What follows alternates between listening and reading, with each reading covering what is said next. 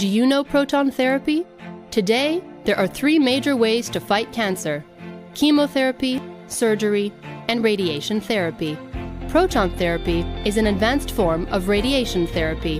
While conventional X ray radiation can damage healthy tissues, proton therapy delivers the beam very precisely, thereby sparing healthy surrounding tissues, which is vital for the patient.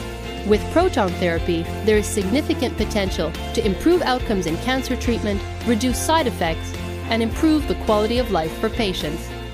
Proton therapy is used today to treat many cancers and is particularly appropriate for pediatric cancers, eye or brain cancers, lung, liver, and prostate cancers. Thanks to its precise dose distribution, proton therapy decreases the risk of secondary cancers by up to 50%. The unnecessary dose to the heart while treating lung cancer is divided by 5. The risk of growth abnormality for children is dramatically reduced. Proton therapy is changing the way you treat cancer. Today, only 1% of cancer patients have benefited from proton therapy due to the lack of centers equipped with the appropriate equipment.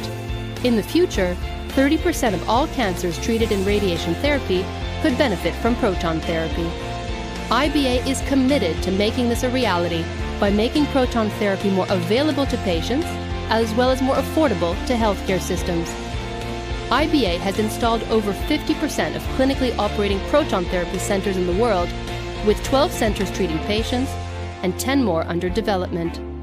Benefiting from more than 25 years of experience, IBA is developing proton therapy systems that are smaller, more affordable, and easier to operate.